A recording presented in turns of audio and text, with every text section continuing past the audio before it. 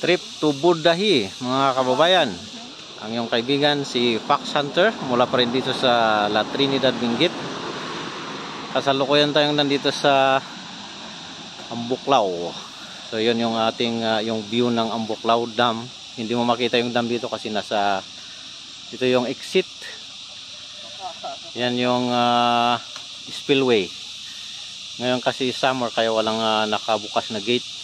So dito yung river papunta ng Agno.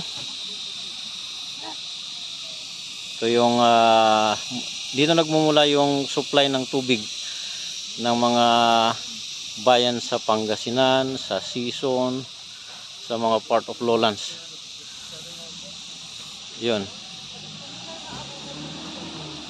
Ito po ganito ko kaganda ang Benguet.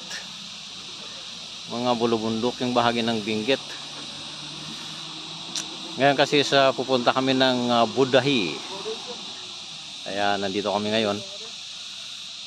Ah, short ah, ah, video para sa inyong ah, ah, viewing ng kagandahan ng Benguet province. Ang exact location po natin is sa Ambuklaw, Bukod, Benguet.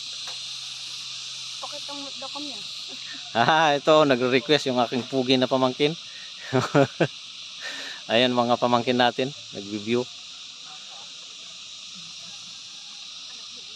Okay.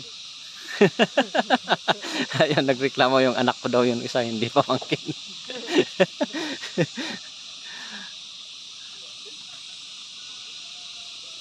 Thank you very much po sa iyong panonood. Mag-subscribe lang po sa Fox Hunter Vlog. Maraming salamat po.